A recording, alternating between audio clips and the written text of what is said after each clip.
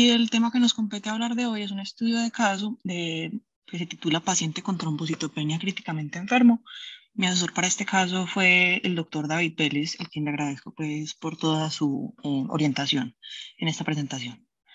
Bueno, entonces, para empezar, vamos a hablar de un caso que tuvimos bastante retador en el mes de diciembre en el servicio de policlínica del Hospital San Vicente. Eh, se trata de una mujer de 26 años, ella es natural de Chocó, vive actualmente en Medellín, era previamente sana, no tenía ningún antecedente ni patológico, ni quirúrgico, ni alérgico, ni tóxico de importancia, según nos reportaban pues eh, sus familiares. Eh, y ella se presenta por un cuadro clínico de ocho días de cefalea, no es muy bien caracterizada la cefalea, que se asociaba a unos episodios aparentemente de pérdida del tono postural que, sean, que se autolimitaban. Eh, ella recuperaba pues completamente sus funciones neurológicas y su estado de conciencia posterior a estos. Eh, había consultado en dos ocasiones previas a otros niveles más bajos pues, de atención, donde le habían dado un manejo sintomático, analgesia únicamente, sin ningún estudio, eh, y le habían dado de alta pues, en ambas ocasiones. Y refería aparentemente a algún grado de fiebre subjetiva, pero esta pues nunca fue muy clara. Eh, ingresa al hospital después de un día anterior al ingreso al hospital, eh, había empezado con un cuadro de disartria en mi parecia eh, izquierda y una alteración del estado de conciencia, permanecía pues como un poco somnolienta. Eh, y había consultado nuevamente ese primer nivel de atención, donde le tomaron en ese momento un hemograma y reportaban una anemia moderada con una trombocitopenia grave, por lo cual habían hecho pues un traslado no regulado al Hospital San Vicente.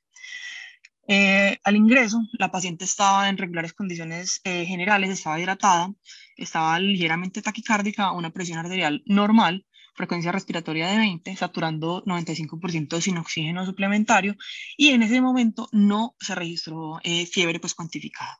Lo positivo al examen físico era que tenía un soplo sistólico en todos los focos, eh, la paciente estaba alerta, pero tenía una fluctuación en su estado de conciencia, pasaba de la somnolencia a estar pues más alerta, eh, un contacto intermitente con el examinador, estaba francamente disártrica, tenía unas pupilas isocóricas y reactivas a la luz, tanto reflejos, eh, pues ambos reflejos oculomotorios estaban presentes y no tenía una simetría facial ni un compromiso pues franco de los pares craneales lo positivo del examen físico neurológico, además, es que tenía una pareja franca de predominio, eh, pues en, en, mi cuerpo izquierdo, de predominio braquial, una fuerza de 2 de 5 en el miembro superior y de 4 de 5 en el miembro inferior. Y tenía una respuesta plantar neutra, no era pues francamente eh, extensora. Y reportan que no tenía ni rigidez nucal ni ningún otro signo benigno. Los paraclínicos que se tomaron al ingreso fueron eh, estos que les traigo acá. Entonces resaltemos que en el hemograma, voy a poner el puntero, eh, en el hemograma teníamos una anemia francamente, pues una anemia franca muy grave, una hemoglobina de 4,8 con un hematocrito pues eh, que era concurrente pues de 15%, una macrocitosis, eh, una hemoglobina corpuscular media normal, una AD francamente aumentada, una anemia muy heterogénea, eh, una leucocitosis a expensas de los neutrófilos y una trombocitopenia grave en 18.000 el extendido de sangre periférico que se solicitó inmediatamente por el motivo pues se consulta que era una anemia y una trombocitopenia pues bastante, bastante graves, era bastante pues tenía muchas cosas anormales, pero nada pues como que nos orientara a una etiología específica. Era una morfología eritroide normal, tenía anisocitosis, eh, una cruz de macrocitos, dos cruces de hipocromía, eh, una cruz de microcitosis, como muy compatible los macrocitos y los microcitos con esa anemia tan heterogénea, eh, una morfología leucocitaria normal, eh, una morfología plaquetaria normal y una distribución plaquetaria normal por la trombocitopenia pues, que ya conocíamos. Tenía una función real conservada y un ionograma bastante poco llamativo. El resto del examen, perdón, de los paraclínicos, un perfil hepático con pues un ALT y una AST un poquito elevada la AST, pero nada pues que nos llama la atención ni que nos oriente a nada específico. Unas bilirrubinas elevadas a expensas de la bilirrubina indirecta, vean que la bilirrubina total era de 2,16 y la directa únicamente de 0.67, con una LDH francamente elevada en 1731.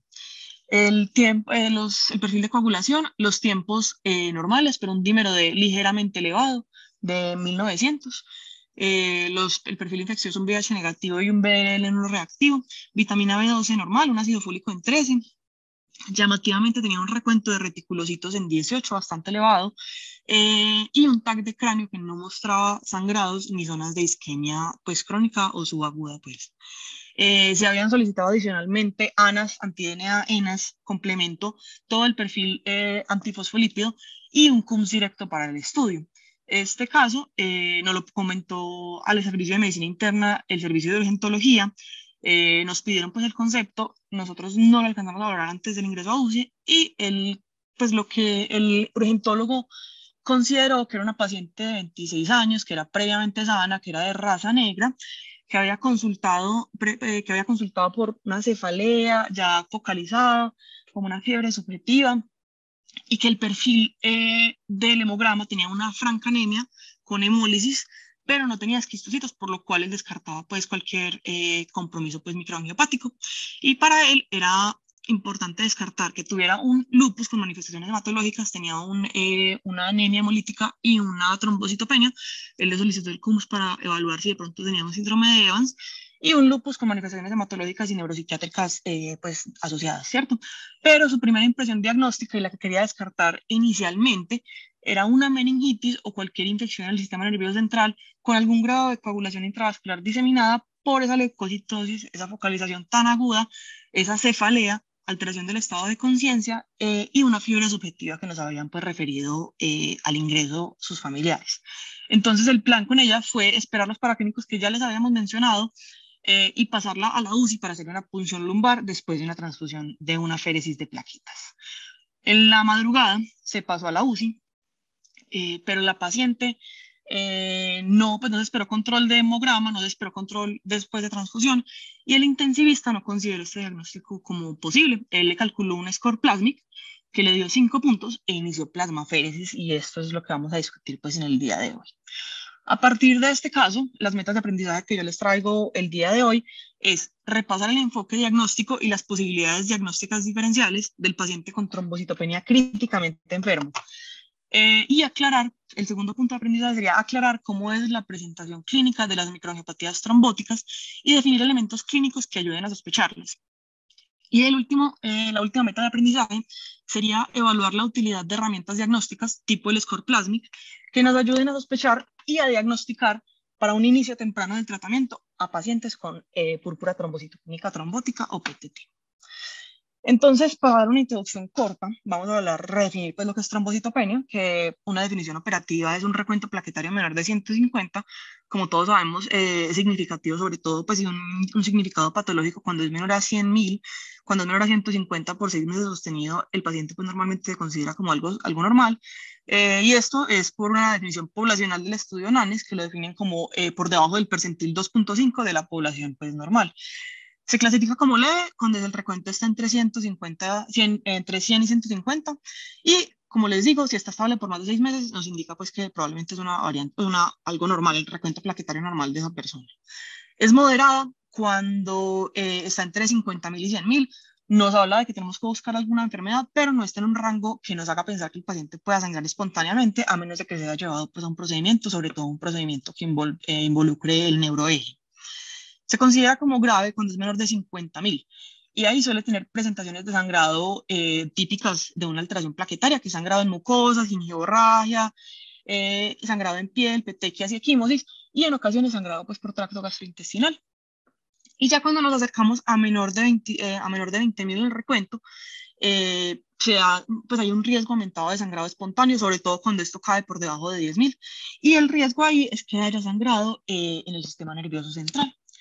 Entonces, eh, el espectro de la trombocitopenia del paciente críticamente enfermo, que es lo que vamos a tratar el día de hoy, se considera más o menos que la trombocitopenia eh, está presente o se presenta pues en el 8.3 al 67.10% de los pacientes que son admitidos a la UCI, o sea que están pues críticamente enfermos por definición, y que durante la estancia eh, la incidencia de esta en pacientes que llegan a la UCI y no tenían eh, trombocitopenia se presenta en un 14 a un 44% de los pacientes. Este estudio PROTECT me pareció muy interesante, es un estudio que no es específicamente para pacientes con tipo, o no es específicamente para el estudio de los pacientes, de esta población de pacientes, sino que estudió eh, cómo se hacía la, para valor qué estrategia de tromoprofilaxis era más efectiva en pacientes en UCI, si heparinas de bajo peso molecular y heparinas no fraccionadas, eh, y la, la, prevalencia de trombocitopenia al ingreso a la UCI en este estudio fue de 26%. Lo llamativo de este estudio, eh, pues y lo que les quiero hablar el día de hoy no es del resultado de cómo les fue con cuál tipo de heparinas, sino que más o menos, eh, pues que las pacientes con, ellos encontraron que los pacientes con trombocitopenia tenían todos, incluyendo los pacientes con trombocitopenia leve, un mayor riesgo de sangrado y un mayor riesgo de requerir transfusión de cualquier hemoderivado, fuera plaquetas, plasma eh, o glóbulos rojos. Y lo llamativo es que eh, la trombocitopenia grave y la trombocitopenia moderada, cuando se presentaba, se asociaba a un mayor riesgo de mortalidad independiente de la causa de esto, y que me habla del mar es un marcador de gravedad de qué tan, pues, de qué tan delicada es la condición del paciente al que nos estamos enfrentando. Y hay múltiples estudios en los que se ha visto que cuando recuperamos el recuento plaquetario, eh, esta pues puede mejorar, o sea, el pronóstico de los pacientes puede mejorar. Eh, los mecanismos por los que se puede dar la trombocitopenia en estos pacientes, eh, puede haber supresión medular de algún grado, sobre todo por la inflamación, hay liberación de interleuquinas que me, me frenan, me hacen un freno medular pues como eh, transitorio, o puede haber pues alguna patología pues de médula ósea que ya pues me haya dado pues el freno medular incluso antes de tener alguna otra inflamación, o esa puede ser la razón por el ingreso a la UCI, puede haber algo de secuestro, esto sobre todo en los pacientes con hipertensión portal algún grado de esplenomegalia, sobre todo pues los que tienen eh, cirrosis pues, de nuestra población. Eh, y el principal mecanismo y el que va a primar en estos pacientes es el consumo y la destrucción periférica, ¿cierto? Entonces puede ser por múltiples mecanismos y eso ya va a depender de las causas que ya vamos a mencionar eh, en las siguientes pues, diapositivas. Y es básicamente puede haber alguna activación de la trombina, esto pues principalmente de la coagulación pues secundaria y esto es el mecanismo que prima en la coagulación intravascular diseminada. Puede haber generación de anticuerpos y una destrucción periférica y esto sobre todo es el, pues el, el, prototipo es el HIT o la trombocitopenia inducida por heparina, donde hay anticuerpos eh, contra la proteína pues PF4. Eh, puede haber liberación de histonas por inflamación y esto me hace un secuestro plaquetario o puede haber una depresión de Adams 13, esto sea porque tengo una PTT franca o en los casos de donde tengo eh, una, pues de donde tengo sepsis, también va a haber una depresión no tan marcada de Adams 13, pero se puede pues presentar y puede haber pues también una destrucción del complemento en las patologías inflamatorias o en las patologías pues dependientes de complemento que vamos a mencionar un poco más adelante. Eh, lo que vamos a tratar el día de hoy, aquí miremos que las causas de trombocitopenia son múltiples. Estas son las que hablamos usualmente en los pacientes que nos llegan, pero no críticamente enfermos. Y hoy nos vamos a centrar en este grupo de patologías. Entonces, las causas principales de trombocitopenia y las que yo tengo que pensar cuando tengo un paciente críticamente enfermo que me llega con trombocitopenia, mm, independiente del grado que tenga, eh, son la coagulación intravascular diseminada, sea asociada a cáncer, sea asociada a infecciones, cualquiera, cualquier tipo de CID. Sepsis, que suele su mecanismo pues, para producir trombocitopenia, se cree que es una poco de hemofagocitosis con algún grado de CID dependiendo de la gravedad pues, del cuadro. Eh, la sepsis inducida por medicamentos es una muy importante, sobre todo en pacientes en UCI o pacientes pues, que son polimedicados como los de medicina interna. Eh, y el prototipo y el más importante en pacientes críticamente enfermos es la trombocitopenia inducida por heparinas. También muy importante considerar, así no sea tan prevalente, la microangiopatía trombótica, que hay diferentes tipos, ahorita vamos a mencionar cuáles son, eh, y el SAP catastrófico también es una de las cosas que tenemos que pensar en trombocitopenia en paciente críticamente enfermo, y algún grado de leucemia aguda que me puede producir eh, pues, trombocitopenia per se o una trombocitopenia por una CID eh, asociada. Entonces, ¿cuáles son las claves que me van a ayudar a orientar el enfoque diagnóstico de los pacientes que me llegan críticamente enfermos y tienen trombocitopenia asociada? Entonces, cuando tengo algún grado de hemólisis, eh, el prototipo de trombocito pues, de causa es que tenga algo, pues que tenga una microangiopatía trombótica. Y este, esta hemólisis en estos pacientes se caracteriza por ser una hemólisis no inmune, ¿cierto? No inmune, eh, recordemos que es con CUMS directo negativo. Y en estos casos no suele prolongar tiempos, pero esto no es una cadena de 11 varas, se puede, puede, puede suceder y puede elevar también dímero D, pero no es pues lo típico, ¿cierto? Eh, cuando tenemos algún grado de hemólisis también hay que considerar pues una CID, la hemólisis no suele ser tan grave, pero puede pues, suceder. Eh, y cuando tengo alteración en las pruebas de coagulación, la clásica o la más, la que primero pensamos es en una coagulación intravascular diseminada, pero recuerden que solamente eh, la, pues la coagulación intravascular diseminada, eh, pues franca, es la que me va a prolongar tiempo, la que, me la que me prolonga INR, la que me consume fibrinógeno y la que me eleva dímero D. Entonces es importante saber que no todas las EIDs tienen toda esta, esta este conjunto de presentación paraclínica. Solamente en el 50% de los pacientes va a haber tiempos elevados, en el resto, en el otro 50% los tiempos pueden ser normales. Y el fibrinógeno solamente va a estar menor a 100 en el 30% de los casos, porque el fibrinógeno es un reactante de fase aguda. Entonces, cuando tengo demasiada inflamación, por ejemplo, un choque séptico, el fibrinógeno pues incluso puede estar muy elevado. Lo que sí siempre, y lo que es característico de la CID, y lo que es muy difícil pues pensar en CID, sin esto es que el dímero D está casi siempre elevado y casi siempre es una elevación muy franca porque se da la degradación de fibrina y el dímero D es un producto pues, de la degradación de la fibrina, ¿cierto? Otra causa de alteración de las pruebas de coagulación es la disfunción hepática, sea por una hepatopatía pues, de base o sea porque tengo un hígado de sepsis o una lesión hepática, pues una injuria hepática aguda. Otras claves diagnósticas, y esto no se suele salir de aquí, es cuando yo tengo un paciente con trombocitopenia y una trombosis asociada, se suele, no se suele salir de estas cuatro causas eh, principales y acá pues una quinta causa podría ser la eh, hemoglobinuria, paroxística, eh, hemoglobinuria paroxística nocturna. Eh, la trombosis en MAT es muy característica según el tipo de MAT. En la púrpura trombocitopénica trombótica principalmente se presenta en el sistema nervioso central, pero hasta en un 25% puede haber infarto agudo al miocardio y en un 35% puede haber eh, infarto mesentérico. Los pacientes se presentan con dolor abdominal y puede haber pues diarrea con sangre incluso. Eh, es una trombosis que es principalmente arterial o arteriolar, eh, entonces para pues tener eso en cuenta. La trombocitopenia inducida por heparina me puede causar tanto trombosis venosa como arterial y suele ser de la circulación macrovascular.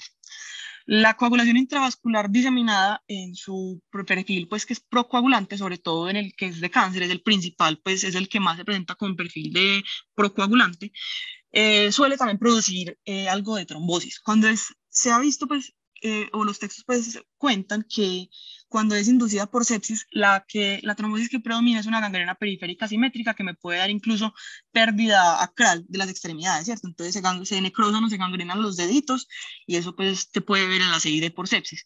En la CID por cáncer eh, puede haber algún grado pues, de trombosis en la macrocirculación.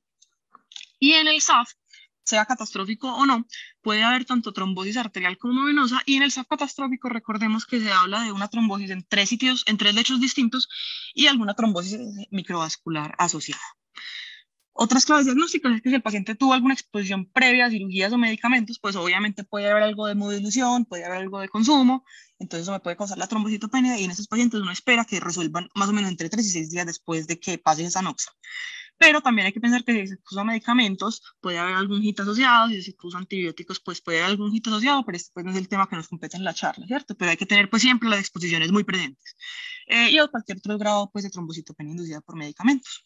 Entonces, lo que nos quedaba nuestra duda aquí después de haber hecho el enfoque del paciente con trombocitopenia críticamente enfermo y lo que le queremos preguntar eh, al servicio de hematología, que es que en este caso de una paciente que me traía un relato no claro de fiebre, que consultó por cefalea en múltiples ocasiones, que presentó después una alteración del estado de conciencia con una focalización neurológica aguda. Recordemos que la paciente tenía hemiparesia izquierda de predominio brachial, que tenía una, una anemia sin esquistocitos, todavía no disponíamos del CUMS, y tenía trombocitopenia además con un dímero de elevado y tiempos de coagulación normales, eh, queremos preguntarles si ustedes consideran que en casos como este, con trombocitopenia grave y dímero de elevado, tiempos de coagulación normales, es suficiente para pensar en algún grado de CID aguda, sea asociada pues, a neuroinfección en este caso o no.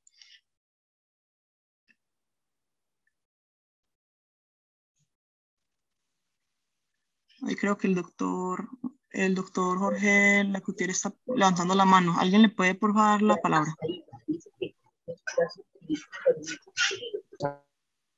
No sé si el profe le va a, contestar o si otra persona. Eh, hola, buenos días. El doctor Jorge Lacutir, Fellow de Hematología, eh, va a hacer intervención. Perfecto. Ya le abrí el micrófono. Eh, buenos días. Buenos días, ¿cómo están? ¿Allí me escuchan? Sí, señor, sí, señor. lo escuchamos perfecto.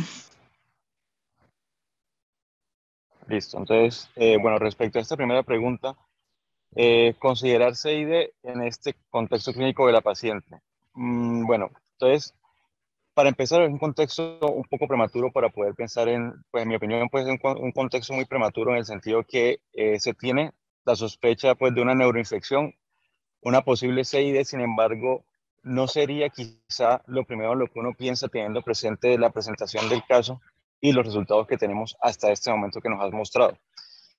Eh, la neuroinfección no se ha confirmado. La paciente, digamos que desde el punto de vista neurológico, quizá lo más llamativo es la focalización y realmente ni eh, la neuroinfección no sería lo principal en lo que uno piensa en un paciente que tiene focalización y el CID, si bien puede tener fenómenos trombóticos, aunque lo más usual es que tenga fenómenos hemorrágicos, pero si bien puede tener fenómenos trombóticos, como tú bien lo dijiste, suele ser de la microvasculatura y compromete principalmente las extremidades en la parte acral. Eh, no sería lo usual ni lo primero en lo que uno piensa que no, pues pensar pues que un CID al paciente le dé una, eh, un motivo para hacer focalización neurológica. Por otro lado, pues con los resultados que tenemos, nuevamente tenemos algunos resultados que nos podrían orientar a identificar cuál es eh, la posible causa de una microangiopatía trombótica o un CID en este caso, y es eh, el dímero D elevado, sí, definitivamente puede ocurrir en pacientes con CID. Sin embargo, una de las cosas que se presentan también con mayor frecuencia es la prolongación de tiempos de coagulación, que tampoco está presente y además no disponemos de fibrinógeno, que también es un eh, dato valioso a la hora de definir si un paciente tiene o no CID.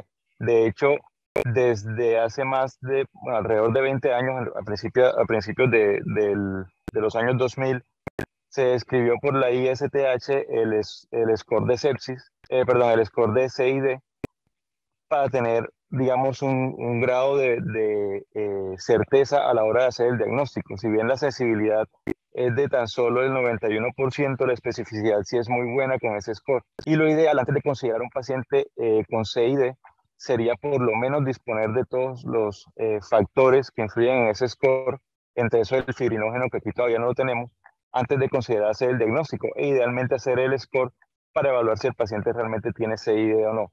Entonces, pues para dar una, una respuesta concreta, eh, en este caso, yo pienso que quizás lo primero en lo que uno pensaría en un paciente con eh, focalización y trombocitopenia no sería inmediatamente una CID.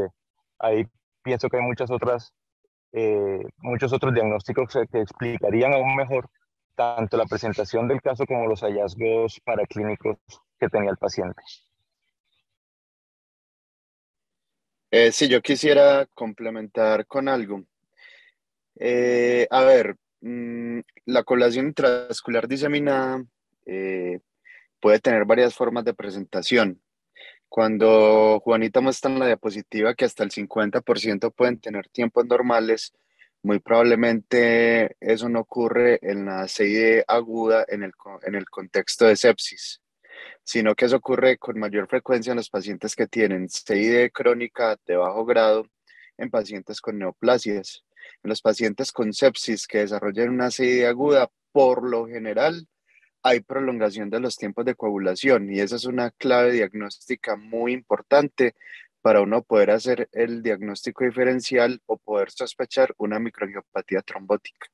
Uno siempre debe considerar o sospechar la microangiopatía trombótica cuando tenga anemia hemolítica, CUMS negativo, aunque a veces pues el CUMS puede salir positivo en bajos títulos, que eso lo enreda más a uno, pero anemia hemolítica, trombocitopenia y tiempos de coagulación normales. Entonces ustedes me pintan un paciente críticamente enfermo, paciente con grave deterioro del estado neurológico y que tenga trombocitopenia y anemia hemolítica, yo inmediatamente miro los tiempos de coagulación. Si tiempos de coagulación están prolongados, pienso en CID y si tiempos de coagulación normales, eh, pienso en microangiopatía trombótica. Entonces, no quedarse con la idea, pues, como que, bueno, 50% tienen tiempos de coagulación normales. Eso es cierto, pero más para CIDs crónicas de bajo grado asociadas a neoplasia, en paciente crítico, con sepsis, por lo general, hay prolongación de los tiempos de coagulación. Ahora, yo me pongo en los zapatos del urgentólogo que, que recibió este caso lo que pasa es que nosotros estamos viendo pues el caso retrospectivamente y pues ya es, es fácil pues mirar para clases es más fácil cuando uno está eh, parado viendo el caso por primera vez pues la incertidumbre diagnóstica es muy alta eh, y aquí hay un, hay un factor que sin duda confundió pues como el médico que vio el paciente al principio y es que en el extendido de sangre periférica al laboratorio no le reportaron esquistocitos. Es un problema bastante grave porque, eh, digamos, ahorita en este momento en el hospital, las bacteriólogas que están eh, trabajando con la parte de hematología viendo los extendidos, todas son nuevas, todas son nuevas. Entonces, probablemente no tienen mucha experiencia examinando un extendido de sangre periférica.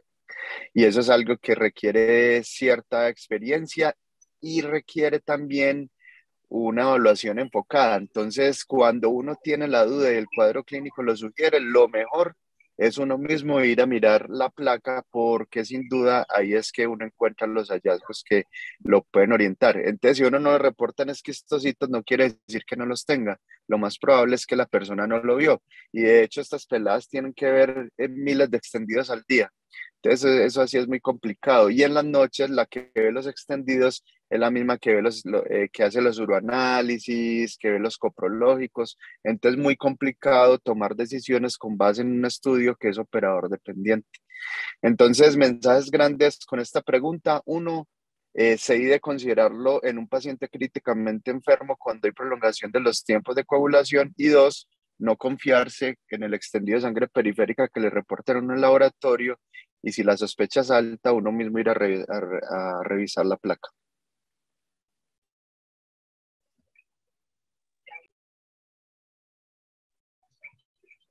Perfecto, profe, muchísimas gracias. De pronto el profe David tiene alguna otra pregunta o continuamos con el caso. No, está demasiado claro, Juanita, muy bien. Sí, muchas gracias, profe. Bueno, entonces, como lo dijo muy bien el profe Leonardo, eh, nuestras sospechas a nosotros tampoco cuando nos comentaron el caso nos sonó muchísimo esa, pues esa, ese enfoque de una CID y tampoco pues de lupus, no teníamos mucho más para pensar en autoinmunidad en ese momento, pero no era una opción que descartáramos pero pensamos que ante la focalización en el sistema nervioso central, posiblemente una trombosis, sabemos que el ataque pues no es el, la imagen ideal para ver ese tipo de lesiones, con una hemólisis que no era inmune, pues por lo menos eh, cuando le hicieron la transfusión pues de la féresis de plaquetas, no nos llamaron a decir pues que hubiera hecho pues que el CUMS que hacían allá hubiera sido positivo, entonces eh, en ese momento consideramos que la posibilidad diagnóstica principal era una microangiopatía trombótica tipo púrpura trombocitopénica trombótica. Entonces, ahora para hablar de la segunda meta de aprendizaje, vamos a hablar un poquito de las características clínicas y o paraclínicas que nos pueden ser de utilidad para el diagnóstico de MAT, sobre todo pues enfocándonos en la PTT. Entonces, para definir una microangiopatía trombótica, esto es principalmente un diagnóstico histológico, pues la verdad es un diagnóstico histológico que me habla de un daño endotelial con la formación de trombos que llevan una oclusión parcial o total de las capilares y o las arteriolas, entonces de la circulación pues microvascular, ¿cierto? Y el síndrome clínico que se asocia a esto eh, típicamente está descrito como una anemia hemolítica microangiopática asociada a trombocitopenia y daño isquémico eh, a los diferentes órganos afectados que según el tipo de MAT pues van a ser distintos, ¿cierto? Recordemos eh, qué significa una anemia hemolítica microangiopática, que básicamente es una anemia hemolítica no inmune o como negativa que tenga presencia de esquistocitos en sangre periférico. Entonces, ¿qué es lo que pasa?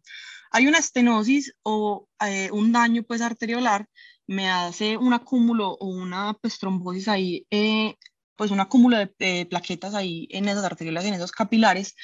Eh, esto me genera pues trombosis y por el consumo pues de plaquetas me genera trombocitopenia y me disminuye la luz de la microcirculación. Esto hace que aumente pues como la fricción eh, y se dañen pues eh, los glóbulos rojos que pasan por ahí. Entonces eso me genera tanto hemólisis y me deforma los glóbulos rojos que me da los esquistocitos típicos, ¿cierto?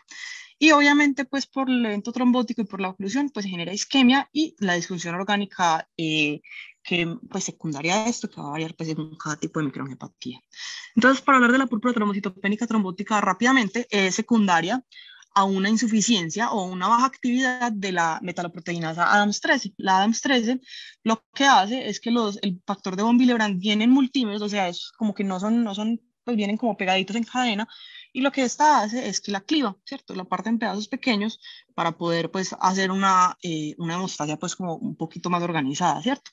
Eh, y la PTT puede ser adquirida que es la principal, pues obviamente en los adultos, que es usualmente por una generación de anticuerpos contra la Adams 13, o heredadas, ¿cierto? Y esta pues no nos, no nos, interesa mucho porque esta pues es mucho más de pediatría. La incidencia pues es bastante baja, es una enfermedad pues rara, 2.9 casos por millón de adultos, pues de pacientes adultos, y la edad principal de presentación es entre los 18 y los 50 años, ¿cierto? Puede ser, como ya les dije, secundaria a la producción de un inhibidor, que en el 50% de los casos pues no encontramos como una causa asociada, ¿cierto? Entonces se hablaría como de una PTT primaria, pues como para decirlo eh, de alguna manera, o secundaria asociada a otras patologías y las principales que se asocian a PTT, o sea, que tenga una patología y me puede hacer un PTT secundario, eh, son el lupus, el, síndrome antifosfolípido, algunos medicamentos, sobre todo la gemcitabina, eh, o la, pues, eh, la quinidina, por ejemplo, también está descrito. Algunas infecciones bacterianas me pueden también inducir una PTT, el VIH o el cáncer, pues también me puede inducir algún grado de PTT. Y clínicamente, se, antes se describía que había una pentada que se caracterizaba por anemia hemolítica microangiopática, trombocitopenia, fiebre, síntomas neurológicos y disfunción renal. Eh, la pentada pues, se escribió clásicamente cuando no teníamos ni herramientas diagnósticas ni herramientas terapéuticas y se estima que más o menos hoy en día se presenta solamente en el 5% de los pacientes. Y es importante aclarar que la disfunción renal se presenta solamente pues, en el 25% de los pacientes, ¿cierto? No es común que haya disfunción renal. El compromiso suele ser principalmente neurológico. En más del 60% voy a tener algún grado de compromiso neurológico. Eh, y en la neuroimagen es característico que yo no suelo ver una, una nariz química grande, ¿cierto? Porque como les dije ya, es un infarto en la microcirculación. Si hay una parte de infarto grande, eh, pues veo en la neuroimagen un TAC o una resonancia con una zona de infarto muy, muy grande, o tengo dos opciones, o que tengo otra causa distinta, sea otro tipo de MAT, otra causa de trombosis, por ejemplo un SAF, o eh, más raro, y es otra cosa pues que no, pues que tendría que pensar, que haya eh, una oclusión del vaso vasorum y que eso me cause pues una una isquemia pues grande, ¿cierto? El compromiso cardíaco, como ya les mencioné, en el 25% puede haber algún grado de injuria miocárdica o de lesión miocárdica y la isquemia mesentérica en el 35%, con diarrea y dolor abdominal se pueden presentar, ¿cierto? Eh, típicamente eh, la trombocitopenia en estos pacientes suele ser menos de 30.000, incluso menor de 20.000 eh, y la creatinina no suele ser eh, no se suele elevar, si cuando se eleva no se suele elevar en un grado mayor de 2.26 miligramos por decilitro. Ambas, pues estas dos cosas, la trombocitopenia menor de 30.000 tiene un OR de 9.1 para pensar en una actividad de AMS 13 y la creatinina mm, por debajo de 2.2, o sea, sin disfunción renal grave, tiene un OR de 3.4 para pensar que hay una baja actividad de la AMS 13, ¿cierto? Eh, y entonces el diagnóstico, pues, obviamente se hace con la medición de la actividad de Adams 13. Lastimosamente, pues este es bastante poco disponible, se demora mucho en hacer la medición, entonces no me puedo valer de esto para hacer un diagnóstico en el momento agudo. Y esto nunca me debe retrasar el tratamiento cuando hay sospecha pues, de una PTT. Eh, rápidamente aquí este, les quiero mostrar este esquema que me parece muy ilustrativo para entender cómo funciona la ADAMS 13. Es básicamente eh, esta ilustración de Comprehensive Clinical Nephrology. Básicamente funciona como una tijera. Acá tengo los multímeros eh, del factor de von Willebrand y la tijera va clivando esos cositos para que se dé una hemostasia pues organizada. ¿Qué es lo que pasa cuando tengo cuando no tengo Adams 13? Pues todos los múltiplos de von Willebrand se van a pegar juntos, no de a uno, cuando va a haber algún grado, pues cuando necesito poder hacer hemostasia, ¿cierto? Y eso me causa un clumping plaquetario. Aquí aumenta, aquí miramos esta, esta ilustración pues de Nature, aquí como hay tanto clumping plaquetario con tantos multímeros de von Willebrand ahí pegados, eh, va a aumentar, pues va a disminuir la luz del vaso y esto me va a causar pues aumento en las fuerzas de cizallamiento y me daña los eritrocitos y me genera hemólisis y el aspecto pues típico de los esquistocitos que yo esperaría encontrar en estos pacientes. Rápidamente hablando del síndrome hemolítico urémico, que no es lo más común, sobre todo en adultos, eh, es otro tipo de MAT que se ha descrito se genera en el 90% de los casos por una infección eh, productora de toxina Shiga, principalmente E. coli, pero también puede ser pues Shigella. Eh, y típicamente esta se presenta con anemia hemolítica microangiopática, trombocitopenia y en esta predomina pues la falla renal y en el 90% de los pacientes 6 a 9 días antes habían comenzado con algún grado de diarrea, usualmente disentérica. Eh, esta toxina, eh, el daño aquí no se da por déficit de AM13, sino que la toxina Shiga genera directamente un daño glomerular, un daño en los podocitos, un daño en los túbulos, que va a generar agregación plaquetaria en el glomérulo y un grado de fuga capilar, que es la que me va a explicar la disfunción renal, eh, y esta agregación pues, plaquetaria me va a explicar pues, la anemia hemolítica microangiopática y la trombocitopenia, ¿cierto? Eh, el diagnóstico se hace con clínica y para clínicos compatibles y la detección pues, de la toxina Shiga, y la mortalidad eh, puede alcanzar pues, el 30%. Y el síndrome hemolítico urémico típico, que básicamente se describía antes como pacientes que tenían un cuadro típico como el síndrome hemolítico urémico, pero no se les detectaba pues una infección previa fuera por toxina Shiga o neumococo que también está descrito. Y lo que se habla es que esta es una patología pues de carácter hereditario eh, que activa pues el complemento de manera desordenada, sobre todo pues el, el, la, pues, eh, sobre todo la, eh, la vía alternativa del complemento, ¿cierto? y esto me va a generar también una fuga endotelial, una trombosis, me lleva pues obviamente a trombocitopenia, anemia hemolítica microangiopática, como hay tanto edema, eh, sobre todo renal, puede haber en estos pacientes algún grado muy importante de hipertensión y la isquemia me genera pues una, eh, una disfunción renal pues importante, ¿cierto? Eh, y por la activación pues de la vía alternativa del complemento voy a tener liberación de las anafilotoxinas C3 y C5A eh, y esto me puede aumentar la permeabilidad vascular, no solamente en el riñón que es donde se da el principal pues daño, eh, sino también en otras partes. Entonces, los pacientes pueden tener algún grado de derrame pleural, derrame pericárdico, algún grado de asitis y otra disfunción orgánica en otros órganos. Eh, usualmente suele ser una presentación, eh, la prevalencia, perdón, suele ser similar a la PTT, pero suelen ser pacientes un poco más jóvenes y se suele presentar después de algún desencadenante específico, sobre todo pues trauma, cirugía, algún grado de infección en las pacientes embarazadas, sobre todo en el postparto, cuando hay exposición a contrastes u otros. Eh, y básicamente, pues ya esto les hablé un poquito. Eh, neurológicamente también puede haber alguna alteración del estado de conciencia eh, y lo típico es que se presenten con algún grado de PRES en caso pues de que haya, haya alteración del sistema nervioso central. Y es raro que se presente pues con focalización porque no causan trombosis en la circulación cerebral, sino que todo esto es por una fuga capilar. Por eso lo típico es que si hay alguna alteración neurológica sea algún grado de PRES. Bueno, entonces aquí quería hablarles un poco, esto ya lo comentó un tris, el doctor Leonardo ahorita, eh, es, es, una gráfica un poco enredada, pero quiero que más o menos pongamos una rayita aquí eh, para hacer una diferenciación en la presentación fisiopatológica y en la presentación paraclínica de la CID versus la microangiopatía trombótica. Entonces en el lado izquierdo voy a tener o depresión de Adams 13 o una toxina Shiga o una activación alterada del complemento que me va a generar activación plaquetaria, consumo de plaquetas, esto me ocluye la, la microvasculatura por el aumento de la pues de la, del cisteramiento anemia, micro, anemia hemolítica microangiopática y esto me va a dar un daño vascular y las manifestaciones de la microangiopatía trombótica que ya mencionamos. Vean que aquí no actúa ningún grado de la hemostasia secundaria, por eso es que en estos pacientes no es típico que yo tenga o elevación del dímero D porque no hay degradación de la fibrina, consumo de fibrinógeno o prolongación de tiempos. A diferencia de la CID, que yo voy a activar directamente el sistema de coagulación. Aquí no hay tanta activación plaquetaria directamente.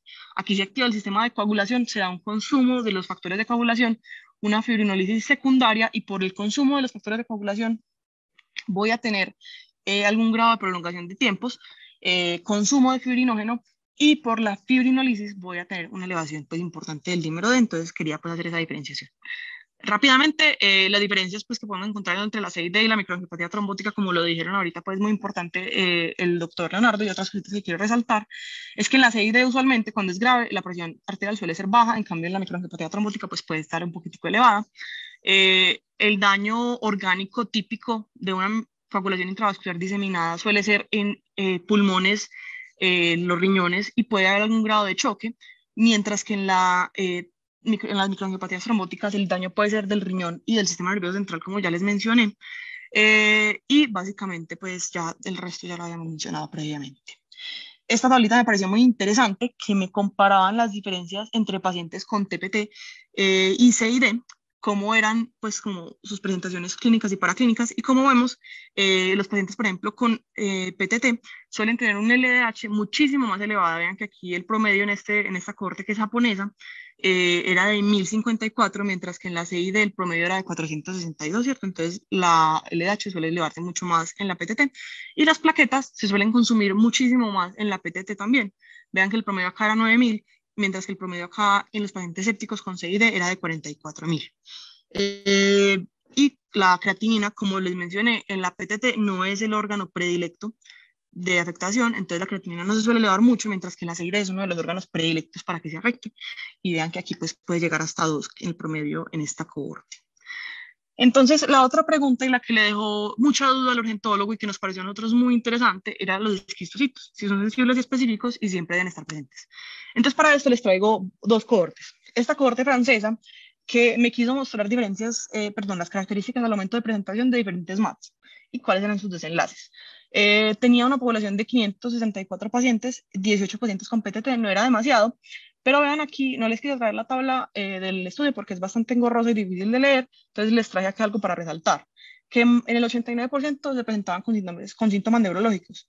Y lo llamativo aquí es que en el 100% de los pacientes había esquistocitos sí o sí. Entonces, según este estudio, según esta corte, la respuesta a nuestra pregunta de si siempre tiene que haber esquistocitos eh, es que sí, en el 100% de los casos debe haber esquistocitos, pero en esta otra cohorte que es francesa, que también me pareció súper interesante, eh, querían ver cuáles eran las diferencias y las causas en el error diagnóstico en los pacientes con PTT cuando se hacía un retraso, pues cuando había un retraso como en diagnosticar a estos pacientes.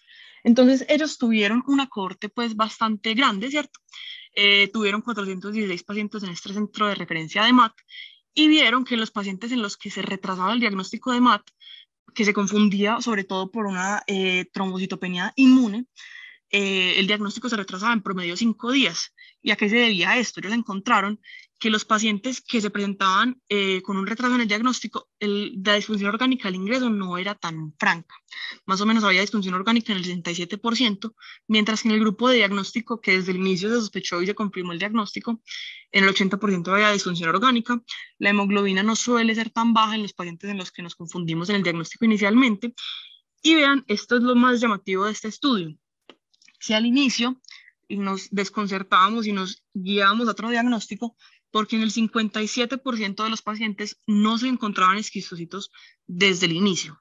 Y también otra cosa muy llamativa, porque en el 18% de los pacientes que se diagnosticaban como una citopenia inmune tenían CUMS directo positivo. Entonces, los dos mensajes acá, algo que ya dijo el doctor Leonardo, es que los esquistocitos eh, hay que buscarlo, ¿cierto? No siempre están presentes al momento de la presentación y que en un extendido sea eh, negativo al inicio, no significa que yo no esté ante una PTT, ante una PTT, perdón, o ante una microangiopatía trombótica y tener un CUMS positivo, sobre todo pues es un CUMS eh, directo positivo en un bajo título, pues tampoco me descarta que esté ante una CID, ¿cierto? Entonces eso es lo que yo les quería como resaltar. Aquí eh, ellos también quisieron ver qué tanto de avión tenían ciertas características con el diagnóstico retrasado de una PTT y se encontró que los pacientes mujeres eh, se podía retrasar pues más el diagnóstico.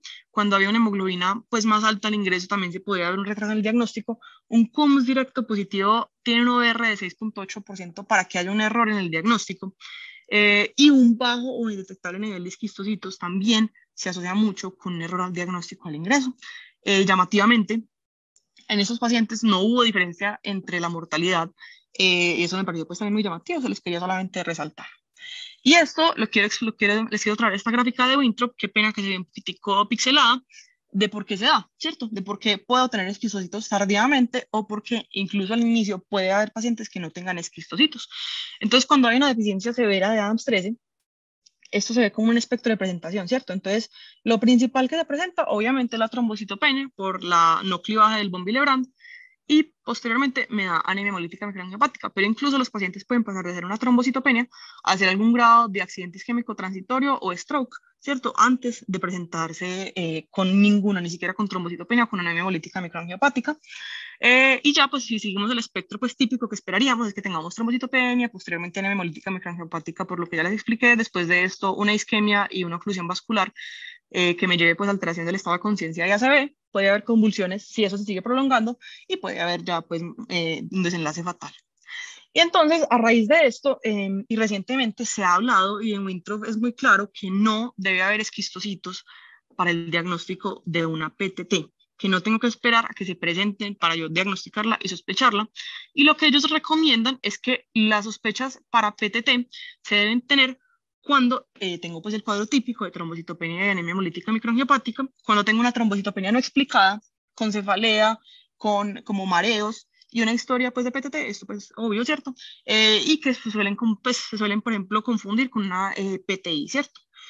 también lo tengo que sospechar en pacientes con AITs con ACVs francos, pues ya establecidos, o con un infarto agudo miocardio que tengan, eh, sean una joven, que no tengan factores de riesgo cardiovasculares, que tengan una trombocitopenia explicada asociada, o que tengan una historia, pues, de TPT, esto, pues, prácticamente me da, pues, me orienta, pues, me sesga un poquitico hacia el diagnóstico, pero lo que me pareció muy llamativo es que ellos hablan de muchos escenarios que no tenemos muchas veces en cuenta clínicamente para hacer una sospecha y una búsqueda activa pues, de una PTT.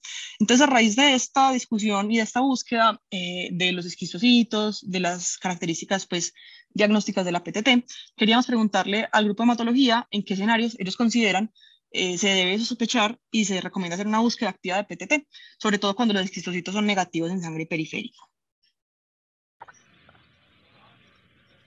Bueno, eh, respecto con esta pregunta, lo primero y muy en la línea de lo que has presentado y lo que decía el doctor Leonardo al principio, eh, un punto de inflexión es el, inconveniente que hay con la presencia de esquistocitos. Entonces, vemos que los esquistocitos son definitivamente un hallazgo importante para, hacerla, para sospechar microangiopatía trombótica.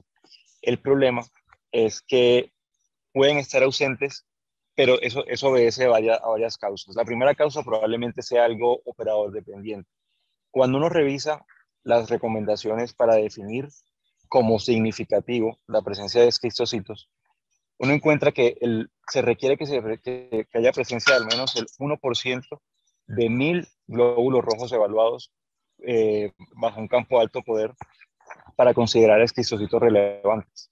Entonces ahí tenemos un primer problema. Dadas las condiciones en nuestro medio de que no tenemos usualmente bacteriólogas dedicadas a la parte de hematología con tiempo suficiente para hacer el recuento de mil eritrocitos y, y sacarle a eso qué porcentaje de esos mil eritrocitos son esquistocitos, eh, es difícil desde el punto de vista operador eh, que se reporten en todos los casos la presencia de esquistocitos, porque probablemente uno pide el extendido, no hacen una evaluación completa pues, de mil glóbulos rojos para buscarlo, posiblemente si uno además de pedir el, el, extendido de sangre periférica les pone eh, buscar esquistocitos, quizá hagan una búsqueda más exhaustiva, pero sigue siendo un problema porque eh, dado que no hay una persona dedicada a eso, que tenga el tiempo para eso, probablemente la búsqueda no va a ser ideal como se recomienda en las guías internacionales. Entonces muchas veces la ausencia de esquistocitos no es porque la enfermedad en sí misma no tenga esquistocitos, sino porque la búsqueda no se hace eh, tan exhaustiva como se debe hacer. El segundo escenario es cuando realmente no hay esquistocitos a pesar de que se hace la búsqueda así con juicio. Eh, sí puede presentarse microangiopatía trombótica sin esquistocitos, pero usualmente esa ausencia de esquistocitos obedece a una ausencia temprana. Es decir, probablemente en el primer extendido no vamos a encontrarlos, pero en extendidos seriados van a aparecer los esquistocitos, porque puede ser eh, simplemente presentación tardía de los esquistocitos. Pero es importante mencionar que esa presentación tardía puede pasar principalmente en SHUA. En PTT es sumamente raro y son apenas eh, casos clínicos los reportados de ausencia absoluta de esquistocitos, eh, tanto tempranos como tardíos. De hecho, el escenario de ausencia absoluta, es decir, el paciente que nunca, hace, eh, que nunca presenta esquizocitos en, el extendido de sangre periférica, suele ser sobre todo en el contexto de recaídas de las microangiopatías trombóticas, sobre todo de PTT. Entonces, el mensaje es que es, muy, es sumamente inusual que un paciente no tenga esquizocitos durante el cuadro clínico, es decir, bien sea al principio o, o al hacer extendido seriado. Es sumamente raro y usualmente es por una búsqueda no exhaustiva de esquistocitos en el extendido. Por eso la recomendación que hace también el doctor Leonardo, de cuando uno realmente tiene una sospecha clínica alta, lo ideal es uno mismo ir a buscarlos. Eh, porque pues las otras personas no van a tener seguramente el tiempo de hacer la revisión completa de un extendido. Eh, en cuanto a cuándo sospechar una microangiopatía trombótica como PTT, eh, en un paciente sin esquistocitos, pasamos al resto de los criterios, ¿cierto? Una PTT es una micro, microangiopatía trombótica con trombocitopenia. De modo que cuando tenemos, y por definición además, una microangiopatía trombótica, eh, es, no, es una anemia hemolítica no inmune.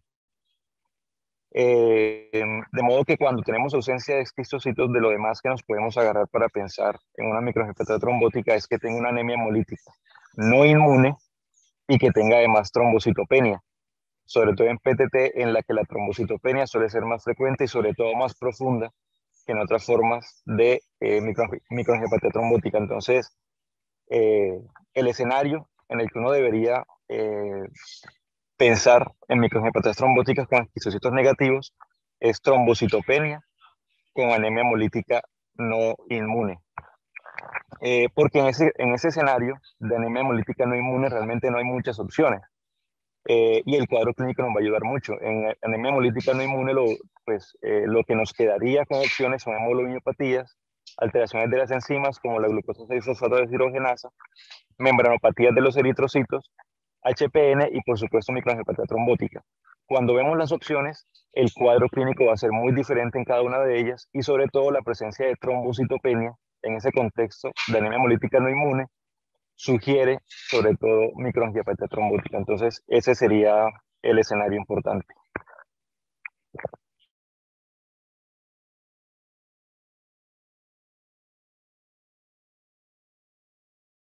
Bueno, perfecto. De pronto el doctor Leonardo, ¿alguien más quiere eh, agregar la pregunta o continuamos?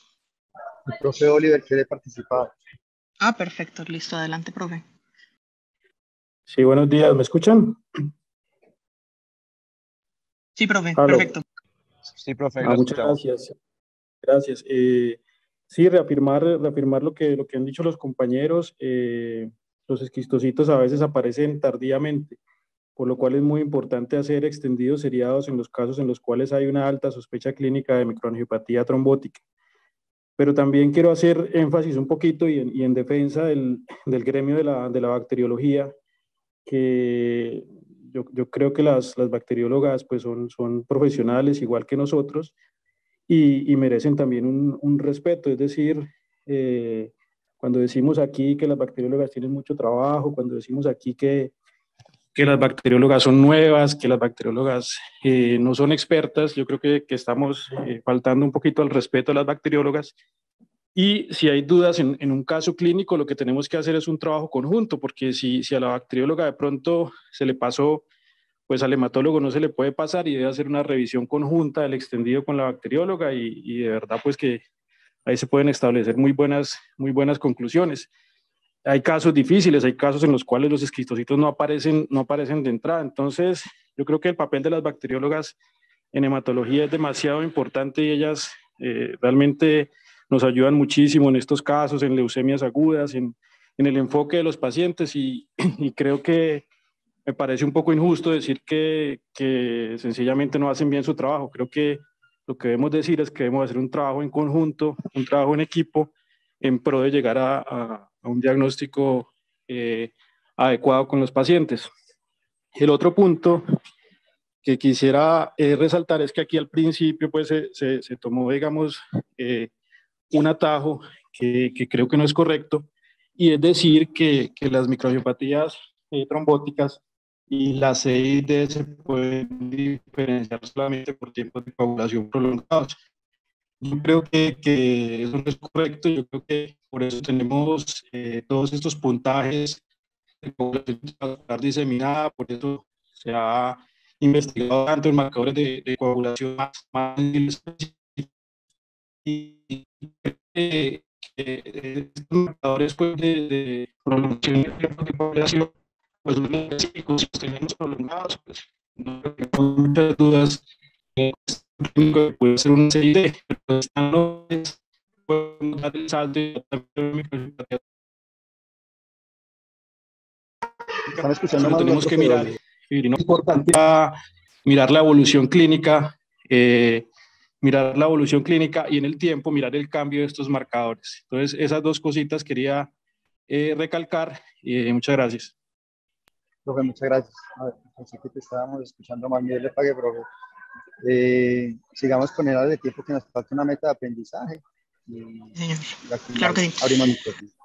Claro que sí. Entonces, la última meta de aprendizaje, y esto eh, vamos a hablar un poco de esto, que nos parece muy interesante, y es en la utilidad pues, del plásmico, de las herramientas diagnósticas, que ya el profe Oliver pues, nos hablaba de los scores eh, en, su intervención. Entonces, el Plasmic es un score que se validó, pues es un score muy interesante. Eh, este estudio, pues que fue el que lo lanzó, es una corte tanto de derivación como de validación externa e interna. Eh, y ellos eh, cogieron pues una gran población de múltiples centros de referencia, cogieron 200 pacientes para la corte de derivación, 150 en la de validación interna y 146 en la de validación externa. Ellos querían, les interesaba mucho, el problema que les conté ahorita del ADAMS 13 es que su medición se demora mucho, no está siempre disponible eh, y esto es muy cierto para los países pues, de bajos recursos o donde no tenemos, pues no son centros de referencia de MAT. Entonces querían ver qué variables disponibles eh, rápidamente, clínicamente y de laboratorio pues que estaban eh, ampliamente disponibles se asociaban a una probabilidad de tener una baja actividad en el ADAMS 13. entonces, ellos validaron pues el score Plasmic, que ya se los voy a mostrar, y les adelanto que esta, este score, pues evaluar estas variables para clínicas y clínicas eh, para predecir pues una baja actividad de Adams 13 fue superior a la capacidad de predicción cuando se comparaba con el juicio clínico únicamente. Entonces ellos evaluaron, estas son las características pues eh, de la corte de derivación y de la corte de validación, eh, pues son bastante similares y lo que nos interesa aquí es cuáles fueron las variables que fueron estadísticamente significativas para predecir una eh, baja actividad de la ADAMS 13 y ellos encontraron algo que les hablé hace un poco y es que la creatinina baja, perdón, la, perdón, el recuento de plaquetas pues bajo eh, menor a 29.000 sobre todo, se asocia pues con una, baja, una probabilidad pues de tener el ADAMS 3 disminuido, una creatinina que se acerca pues a la normalidad también, unos tiempos de coagulación normales, ellos utilizaron acá el INR, eh, tener un volumen corpuscular medio, eh, pues como entre 86, de 86, menor a 86.5, y tener hemólisis, que ya pues hemos descrito como, pues cuáles son las, las criterios pues para hablar de hemólisis, ¿cierto? Entonces ellos derivaron este score que habla de un conteo plaquetario menor de 30.000, una variable de hemólisis que no tenga cáncer activo, que no tenga historia eh, de trasplantes de órganos sólidos, que tenga un volumen corpuscular medio menor de 90 y un INR menor de 5 y una creatinina menor de 2, cada una de estas variables me da un punto, y se habla de una posibilidad alta de tener una baja actividad de Adams 13 cuando el score me da de 6 a 7, una probabilidad intermedia cuando me da 5 y una baja probabilidad de tener deficiencia de Adams 13 cuando da entre 0 y 4. Y lo interesante aquí es qué tan, eh, pues qué tan la calibración pues de este estudio, ¿cierto? Entonces veamos que en la corte, la que nos interesa pues es la externa, ¿cierto? La corte de validación externa eh, es muy, pues la, la AUC da punto 91, o sea, tiene una capacidad de discriminación extremadamente alta para un score de predicción. Entonces, es una herramienta con la que yo considero me puedo apoyar pues bastante para hacer el diagnóstico eh, pues de una PTT. Cabe aclarar que en este caso se hablaban solamente de PTTs eh, idiopáticas, o sea, que yo no tenía una causa asociada. Excluían a los pacientes que tenían cáncer, excluían a los pacientes con lupus, excluían a los pacientes con SAF, eh, pero es una, pues una herramienta que me puede ayudarme a llenar de motivos para yo empezarle un tratamiento que potencialmente le salve la vida al paciente. Entonces, las últimas preguntas que queremos traerle al servicio de hematología son estas. Si en relación con la interpretación y el uso del plasmic, eh, ¿ustedes cuáles serían las recomendaciones que nos dan frente al uso, eh, pues frente al uso de este para el enfoque del paciente críticamente enfermo que cursa con trombocitopenia? Y la otra es cuáles consideran son las ventajas y las desventajas que tiene este score de predicción y cuáles serían pues sus limitantes.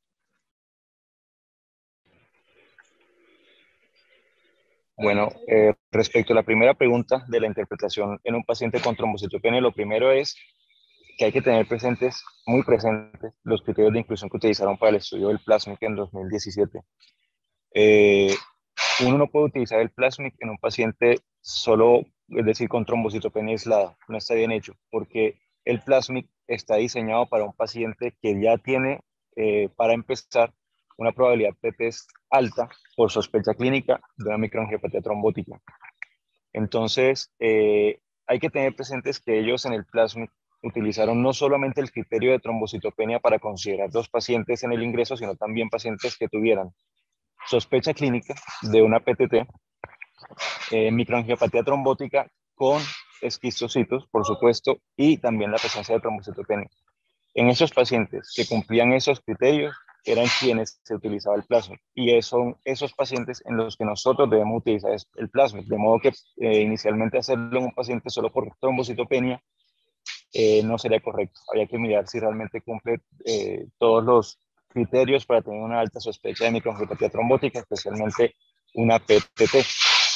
En línea con lo que veníamos hablando antes, de hecho, el plas, uno no podría utilizar el plasma en un paciente que no tiene esquistocitos, porque de hecho uno de los criterios específicos de exclusión era la ausencia de esquistocitos. Entonces, eso es algo a tener en cuenta específicamente para el caso en el que estamos eh, y también a tener en cuenta para la parte de desventajas. Si bien la ausencia de esquistocitos no es la regla, sí es frecuente, sobre todo al inicio del caso, eh, entonces es algo a tener presente a la hora de aplicar el plasma.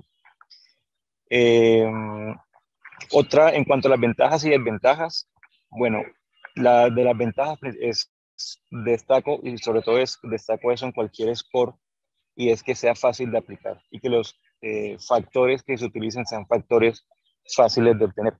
El Plasmic solamente requiere recuento de plaquetas, marcadores de hemólisis, volumen corpuscular medio, INR y creatinina, para poderse llevar a cabo. Y eso es algo que se resalta el hecho de que son, son resultados que uno tiene casi que en el día a día de los pacientes, sobre todo el paciente críticamente enfermo. Eh, entonces, eso indudablemente es una ventaja. Otra ventaja es que no solamente tiene un excelente rendimiento diagnóstico, sobre todo en la parte de sensibilidad, sino que ese rendimiento diagnóstico es adaptable al puntaje del paciente. Es decir, si bien el, punto de corte son cinco puntos para considerarlo, digamos así, positivo, si el paciente tiene más de seis puntos, uno puede adaptar el rendimiento diagnóstico y la especificidad, y con el punto de corte de 5 más bien mala, de 57%, aumenta alrededor del 90% en pacientes con 6, perdón, con más de 6 puntos en el plasmic. Entonces, eso es otra ventaja, el hecho de que no hay un solo punto de corte, sino que eh, es adaptable de acuerdo al resultado que se obtenga del paciente.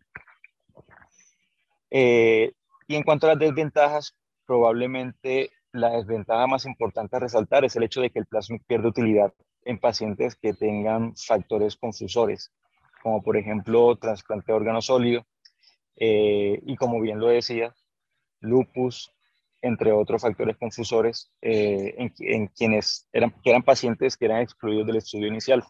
Entonces, en esos casos, digamos, un poco más difíciles, eh, vamos a requerir nuevamente mucha parte de juicio clínico, porque el plasmic no va a ser de tanta ayuda en esos casos en los que realmente es más juicio clínico que un score que nos permita definir la presencia o ausencia del diagnóstico.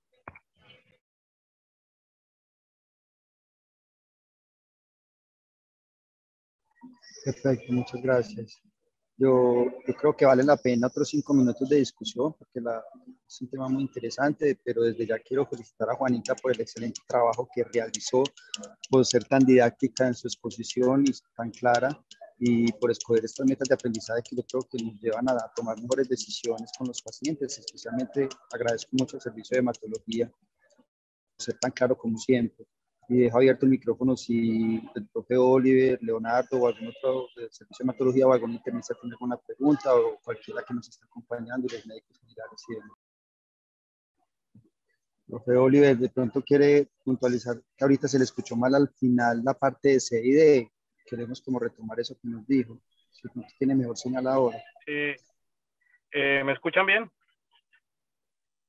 Sí, señor. Aló bueno, eh, sí, no, eh, puntualizaba al final que, que, pensaba que se había tomado un atajo de pronto en el diagnóstico que no era correcto y era que eh, poner demasiado peso sobre los tiempos de coagulación para definir entre microangiopatía trombótica y coagulación intravascular diseminada eh, puede ser peligroso.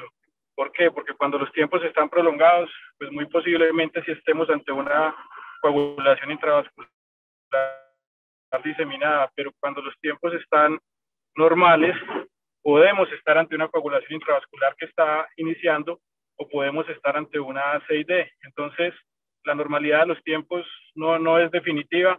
Hay que hacerle seguimiento al paciente con otros marcadores como el dímero D o el fibrinógeno para poder tener un diagnóstico más preciso. Muchas gracias.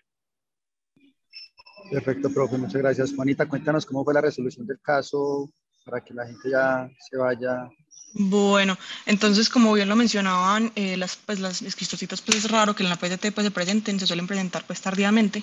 Entonces lo que se hizo ese día fue pedirle a la bacterióloga específicamente eso, que hiciera una búsqueda activa de esquistocitos. Y en el tercer extendido pues esto fue lo que eh, salió. Quiero resaltar acá, eh, voy a poner el, el pintero aquí. Entonces, eh, en el tercer extendido que se hizo a esta paciente, eh, ya una cruz de esquistocitos, y a partir del quinto día de hospitalización, eh, los extendidos que se repitieron, pues más o menos tres cruces de esquistocitos, pues era el promedio. Y pues lo último, para resaltar, como la sospecha pues fue una PTT, el servicio de hematología del segundo día de hospitalización pues vio a la paciente y le solicitó niveles de ADAMS 13, que esos son los de nuestra paciente, una actividad de la ADAMS 13 menor al 0.2%. Entonces ahí se resuelve pues nuestro caso y se confirma pues el diagnóstico de una PTT. Eh, no sé si de pronto ya estamos sobre el tiempo, pero nada, muchísimas gracias a todos.